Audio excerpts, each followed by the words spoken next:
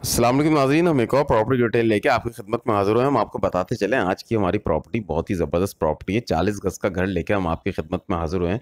नाज़रीन मैं आपको बताते चलूँ, इसके अंदर एक बेडरूम है, एक बाथरूम है, खूबसूरत घर बना हुआ है। बेडरूम में चौड़ा सा एक कमरा है और एक चौड़ा कमरा, चौड़ा बाथरूम खूबसूरत घर, जो भी रहे, वो खुशी के साथ इसमें रहे और बोले कि हट जाओ बेडरूम में से, अभी मेरी सोने की बारी है। तो नाजिन, खूबसूरत घर है। मैं आपको ये बताता चलूँ, चालीस गज़ में जिस तरह से इस घर की कंस्ट्रक्शन करवाई गई है, वो लायक तहसीन है, उन्होंने बहुत ही मेहनत से काम करवाया है। मैं आपको ये बताऊँ कि ये घर जो है फुटबॉल चौरंगी के करीब है। यानी अगर आप जाएँगे वहाँ पे, रहना शुरू करते हैं तो आपको फुटबॉल खेलने के लिए भी भरपूर इम्कान मिलेंगे।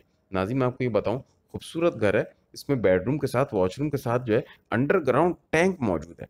और उसके साथ साथ घर में बिजली का भी कोई मसला नहीं है गैस का भी कोई मसला नहीं है। यानी दोनों बुनियादी चीज़ें, तीनों बुनियादी चीज़ें आपके जो है, पास में मौजूद हैं और आपको रहने में कोई किसी किस्म की दिक्कत नहीं होगी। नाजिम, मैं आपको ये बताता चलूँ, आप घर देख रहे हैं, खूबसूरत घर बना हुआ है ऊँची ऊँची छतें हैं, उसकी वजह से एक हवादार घर है वेस्ट ओपन घर है, हवादार घर है। इसमें जो है, आप देख रहे हैं कितना खुशादा कमरा है रहने वालों ने जो है, इसको बहुत ही प्यार से और बहुत तरीके से रखा है और बहुत संभाल के रखा है। तो नाजिन मैं आपको ये बताता चलूँ कि इस घर के किचन में भी जो है, किसी किस्म की कोई काम की ज़रूरत नहीं है। आप आएँ रेडी टू मूव घर है, फ़ौरन आएँ और रहना शुरू हो जाएँ। आपको किसी किस्म की कोई परेशानी नहीं होगी। नाजिन खूबसूरत नक्शो नगार और इंटीरियर का जो काम घर में हुआ हुआ है, वो भी बहुत खूबसूरत है। मैं आपको ये बताता चलूँ कि ये घर जो है, इसकी कंस्ट्रक्शन करते वक्त जो है, एक जो ओनर था, उसका बड़ा एक आर्टिस्टिक माइंड था तो उसने इसको जो है बड़े ख्याल से बनाया है। मैं आपको ये बताऊँ कि ओनर इसकी डिमांड कर रहे हैं फिफ्टीन लाख रुपीज़ ना, खूबसूरत घर है और मैं आपको ये बताता चलूँ,